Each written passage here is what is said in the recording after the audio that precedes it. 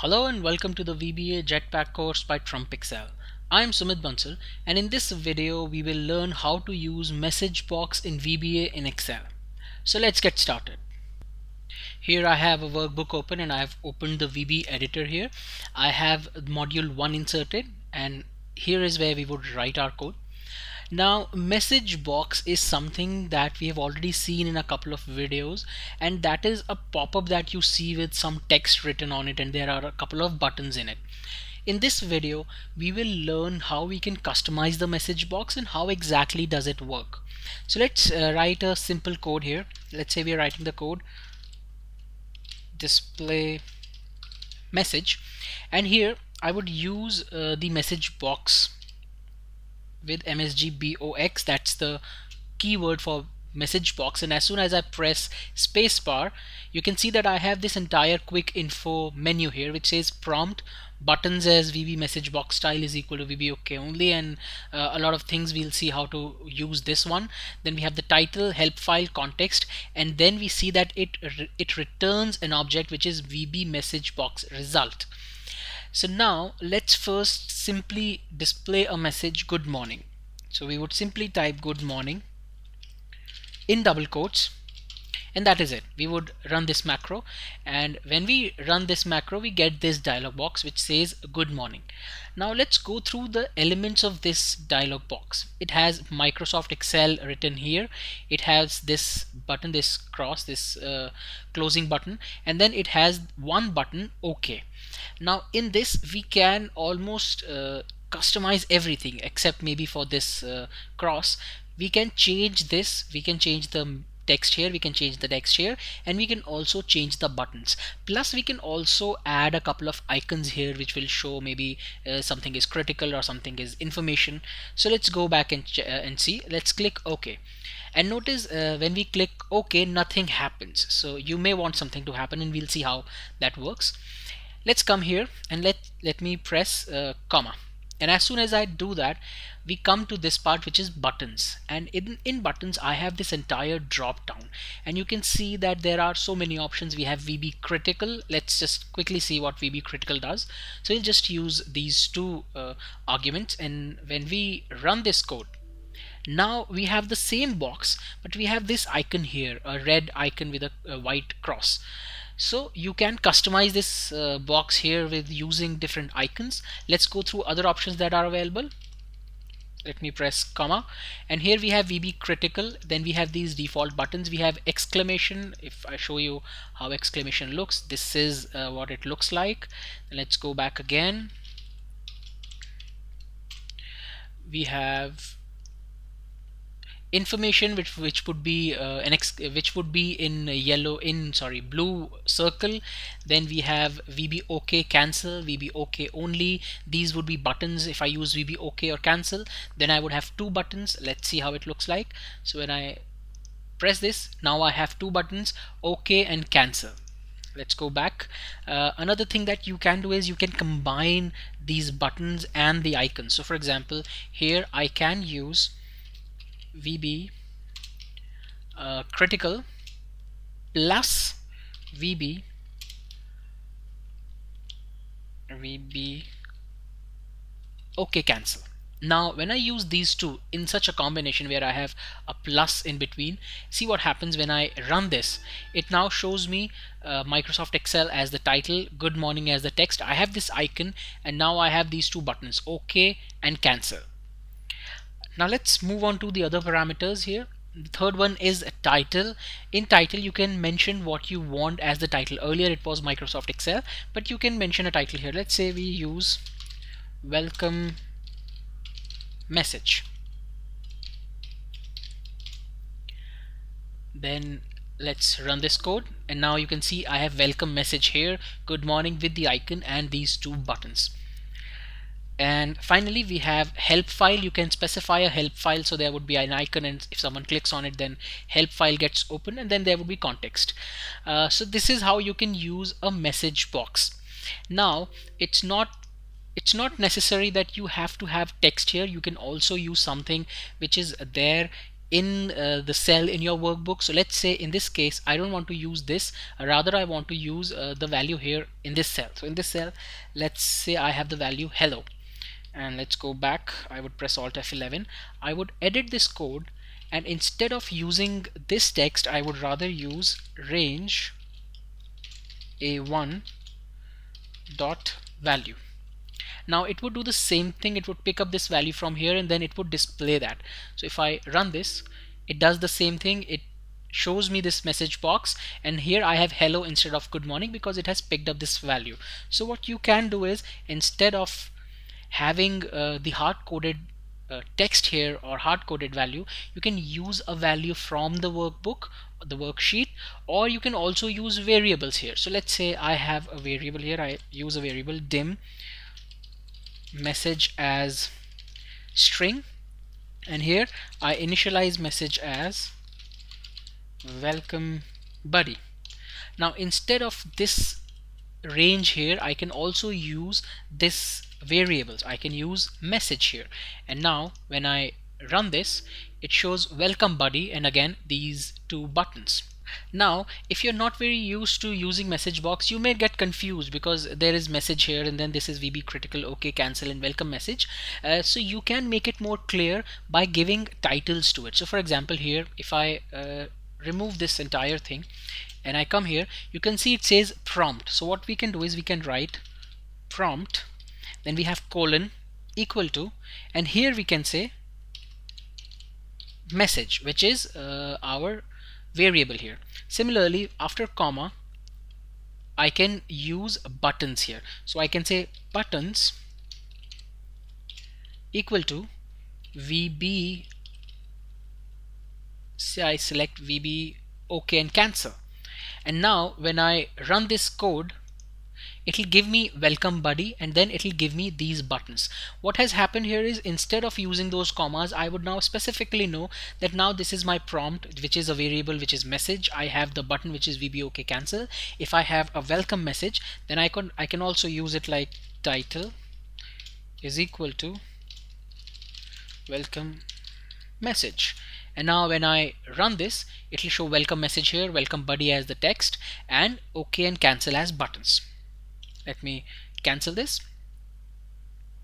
Now you can also concatenate different text here. Say what for example let me delete this entire thing. And let's say here I have my name here. So I have Sumit Bansal written here. And in message box I want to show that my name is and the value in this cell. So what I would do here is I would type message box. And here I would type my name is ampersand range a1 dot value. So here I have concatenated using the ampersand sign. Now let's run this code. I would run this and it shows my name is Sumit Bansal. And you can also introduce a new line. So for example in this case I want this in one line and then I want another line which is uh, displayed as a separate line in the message box. So to do that what you can do is I would close this with a period and then here I would type VB new line and VB new line would introduce a new line in the message box. Now I can continue the message and I can say how are you this is my message. Now when I run this message box code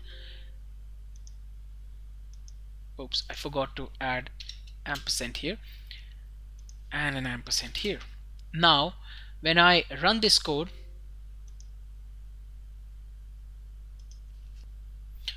I also need to separate this out. Okay so now when we run this code it shows my name is Sumit Bansal and in another line it shows how are you so this is how you can use a message box. You can display different kinds of icons. Uh, you can display different kinds of buttons. But so far what we have done is we have showed something in the uh, message box. Something pops up. And then we click OK or cancel. But something needs to happen in this case. Say for example if I use this question do you like coffee? And now if I run this message box it says do you like coffee?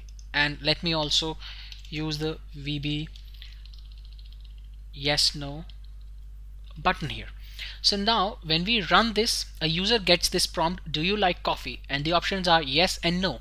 But when I click yes, nothing happens. Similarly, I again run this, I click no and nothing happens. And this should not be the case. Something needs to happen. So if you are developing real world applications, then in that case, something needs to progress. When you say yes, then something should happen. When you say no, then something should happen.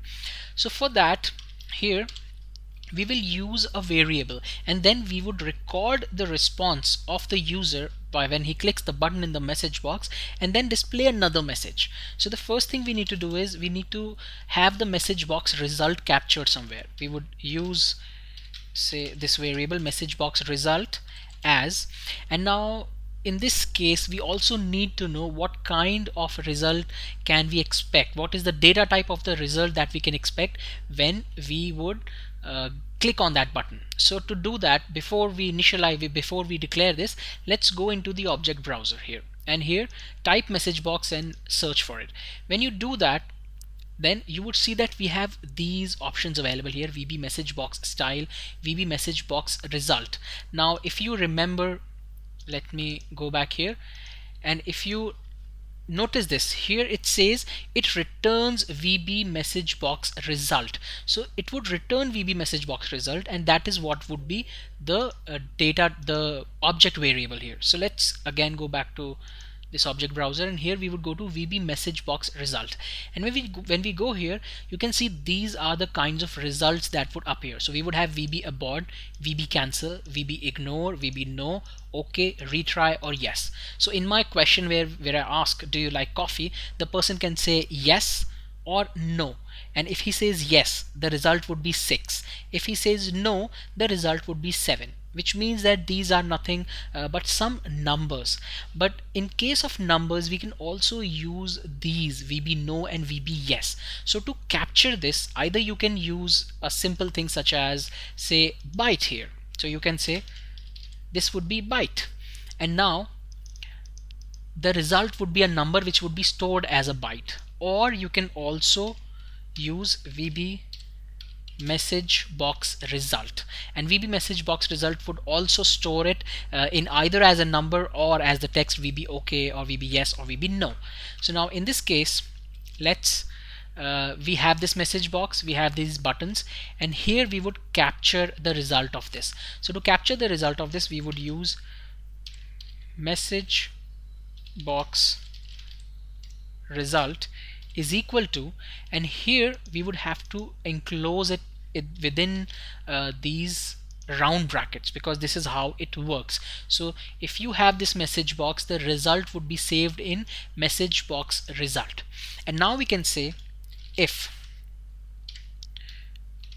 message box result is equal to VB yes then we can show the message box great and maybe we can write it goes well with muffin. And if that is not the case else we will show the message box. You should try Starbucks sometime.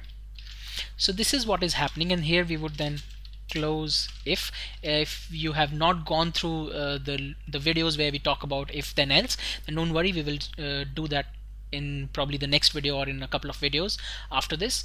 Uh, but let's see what happens when we run this code. So let me minimize this and let's go through this. I would step into this code. And here the first thing is message box result is equal to this and it gives us this prompt. And say I select yes. And as soon as I select yes it goes here. Here it checks whether this is equal to VB yes or not. And here it is because VB yes is equal to 6 so it displays great. It goes well with muffin. And it ends it. Now let's go through this again. Here this time I said no. And it goes to else because this is not correct it comes to else here it says you should try Starbucks sometime. So if you run this code not stepping through but you run this code here so I come here and I run this code. It says do you like coffee? I press yes and it says great it goes well with muffin. So this is how you can capture the result of message box and then do something with it. In this case we displayed another message box but you can do something else. You can run another code or you can put a value somewhere or you can do whatever you want. But this is how you can use message box in Excel in VBA so that's it in this video. I hope you found this useful. Thank you and have a nice day